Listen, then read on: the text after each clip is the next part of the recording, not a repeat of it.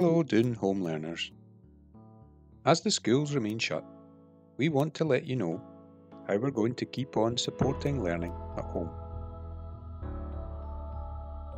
When the schools closed, we sent home packs full of activity grids and lots of resources to keep you going, so that you could keep on working from home.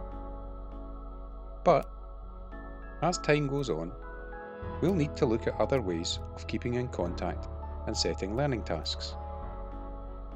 For this, we've decided to use Class Dojo because all of our families are already familiar with that program and there's some really good features in the portfolio section that we think will be really useful.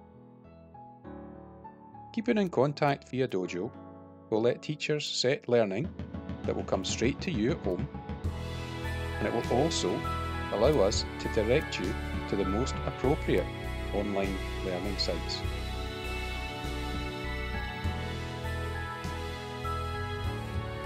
There really is a huge amount of material available online, and it's important to find the bit that's right for you. Pupils will also be able to share their progress with their teachers.